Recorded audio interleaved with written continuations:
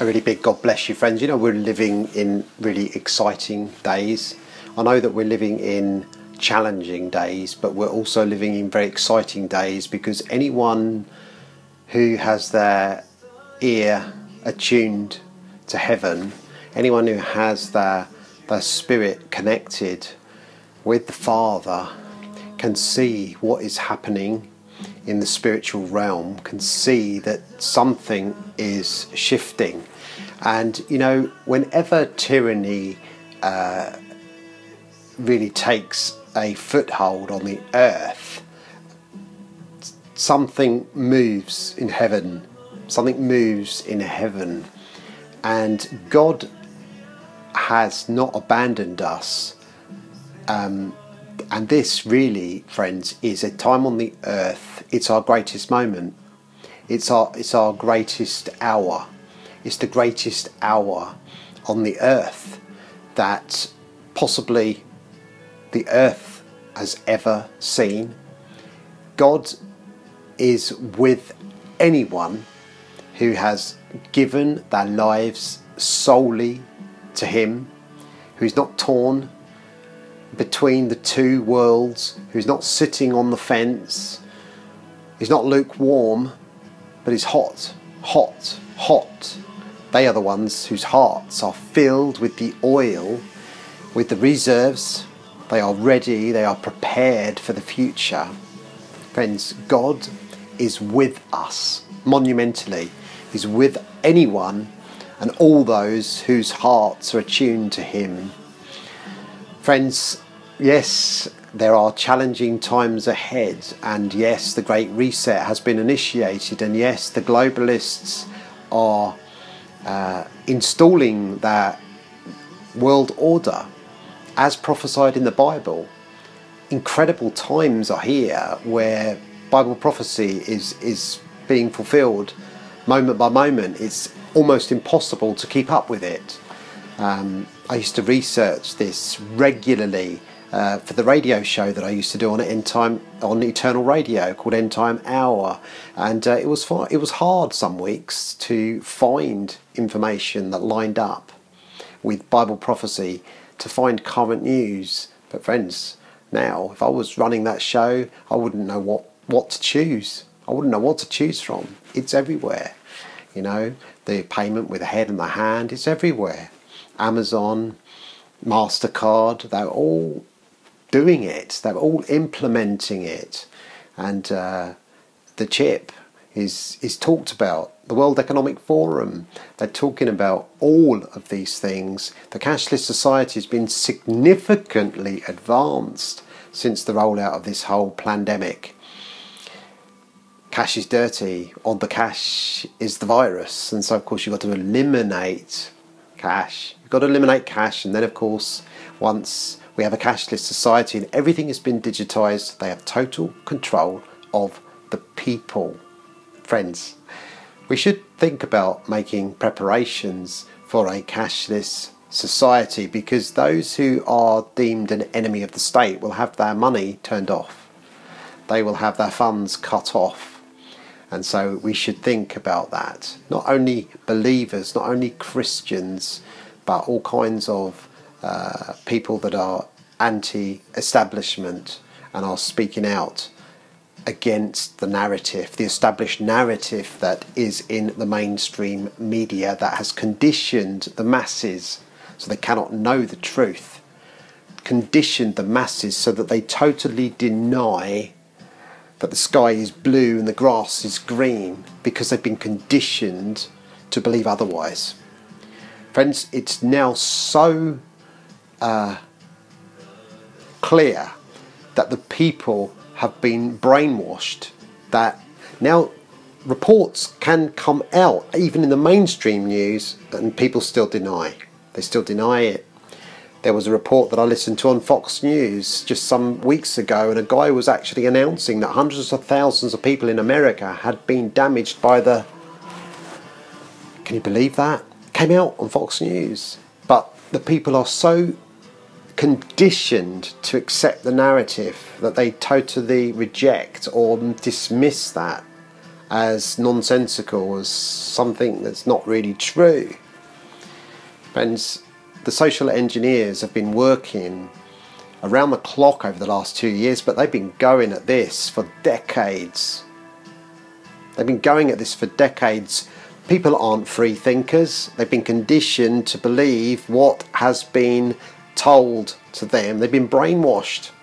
You know what's amazing is how people in the world are always worried about their children being brainwashed by Christianity and they want to rescue their kids. When I've been preaching on the streets, I've had I, I see mothers take their children quickly away but they wouldn't bat an eyelid if a drag queen was put in front of them to read a story to their kids. Don't worry about that kind of brainwashing. Friends, people have been conditioned to believe in a certain kind of way. We're not free thinkers, friends, unless we have been liberated by the power of Jesus Christ.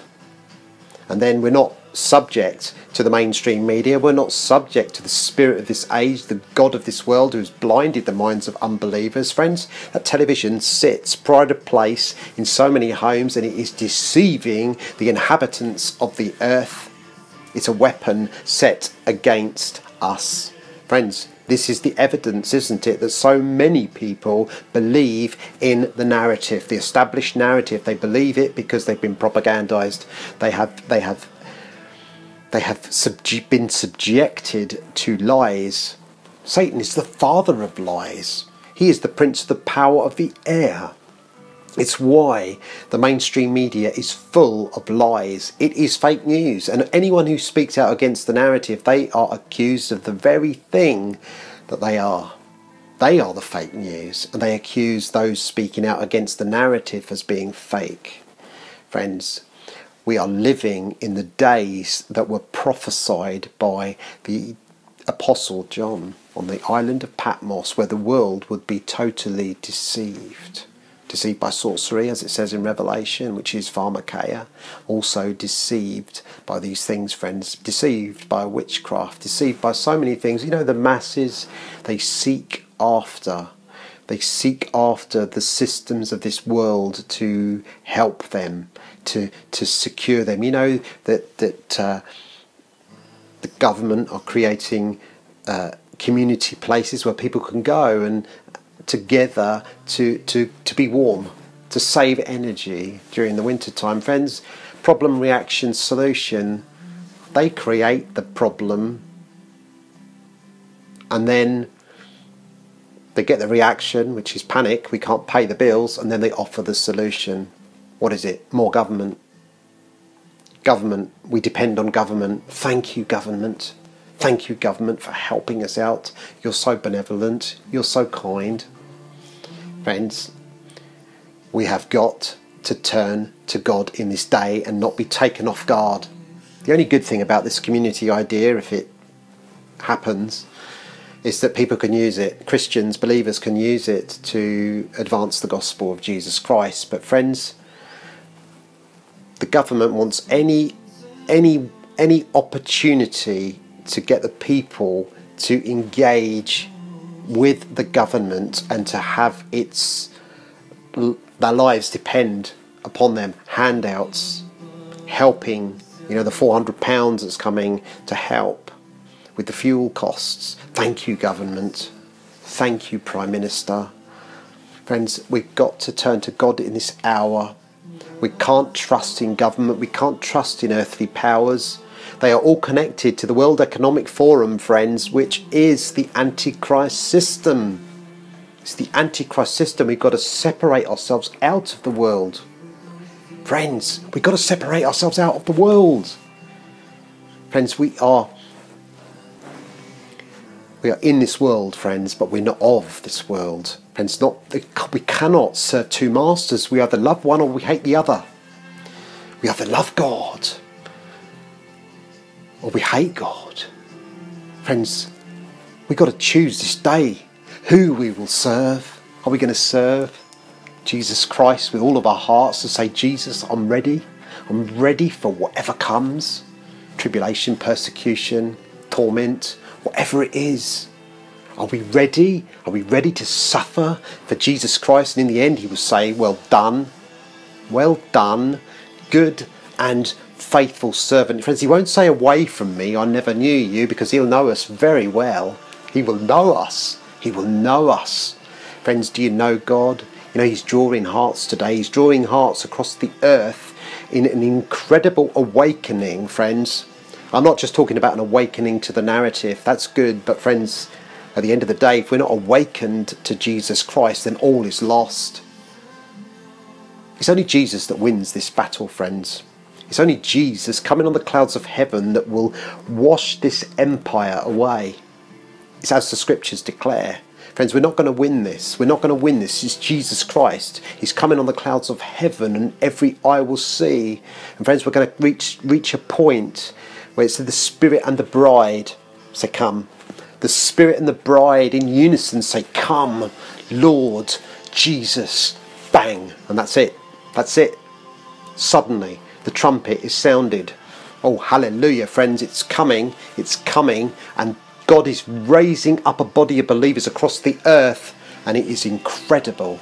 It is incredible, friends. It is it is a new day. It is a new day for the church, and yes, there will be great tribulation, and there will be great persecution across the earth, and many will die, friends. But they will not. They will not die in defeat. They will be totally victorious, and they will go straight straight to the throne of God, friends, and under the altar, where they will join with the other martyrs, friends. And when the when the number of martyrs is in, that's it, that's it, that's it, friends. God is doing a wonderful thing on the earth today, and many things, many things are being revealed that were once hidden. We now know, friends, that the wickedness is utterly wicked.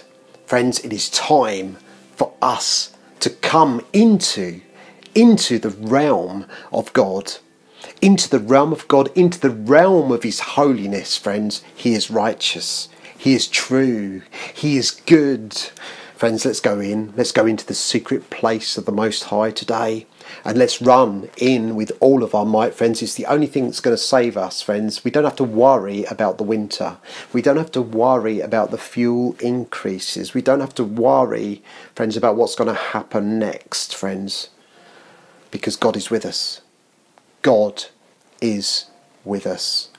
Let's give our lives to Jesus today. Let's sacrifice everything and go out and preach this glorious gospel. And in the end, friends, he will say, Well done.